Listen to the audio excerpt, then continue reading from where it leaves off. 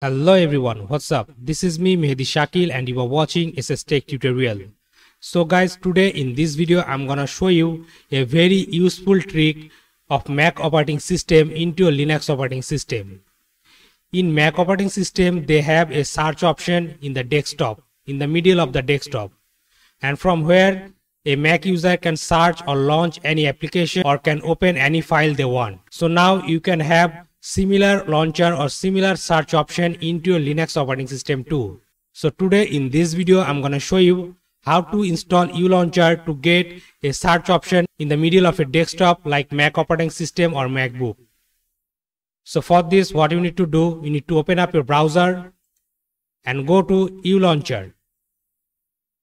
This is the official website of uLauncher and here you can see a quick demo what I'm talking about. In the Mac operating system, there is an option like this. And from this search bar, you can open any file and also can launch any application. And now we are going to have that option in our Ubuntu machine. So now let me show you how to get this launcher. So if you visit to this website and scroll down, you will see there is a detailed guide about installing this uLauncher in different variant Linux operating system. You can have this launcher on Ubuntu, Arch Linux and Fedora. Now let me show you how to install it. As I'm using Ubuntu, so I'm gonna follow this guide. So there is two options to install it. Number one, you can download this Debian file and extract this Debian file in your Ubuntu machine. Or you can just simply copy this command to install the uLauncher on your Ubuntu machine using the PPA. So copy this command and minimize your browser. Then open up a terminal. Then simply paste that command and hit enter. Then give your root password and enter.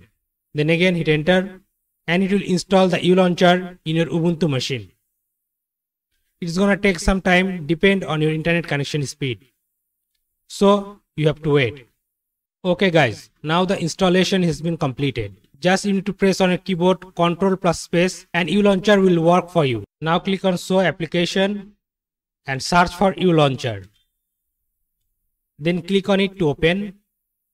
And now from here you can search whatever you want and can open it from the search option. And also you can set the hotkey to open this search option from the setting, preferences, and here you can see the hotkeys. Like this, you can easily set up a uLauncher or a search bar like macOS operating system or like Apple MacBook into Linux machine. So guys, that's all for today. I hope you like this video.